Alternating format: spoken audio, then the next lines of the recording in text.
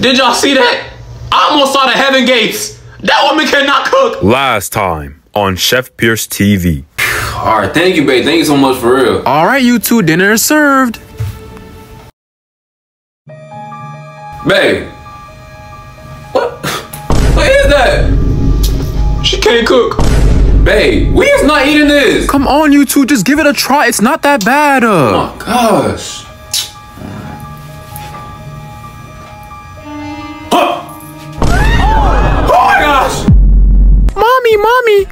My homework? Of course, honey. Okay, mommy, so what's five plus five? Five plus five?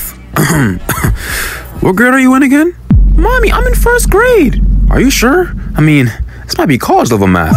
So not only she can't cook, but she's slow. oh! Mommy, are you still thinking about the question? Yeah, honey, one second. Hey, just go. Just go.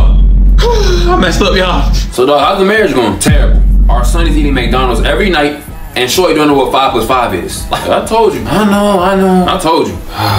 Babe, I'm home. Babe.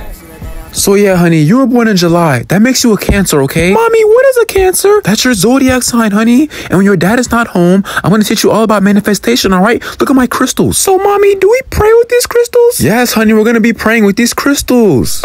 What incarnation is she doing? Hey, what are you doing?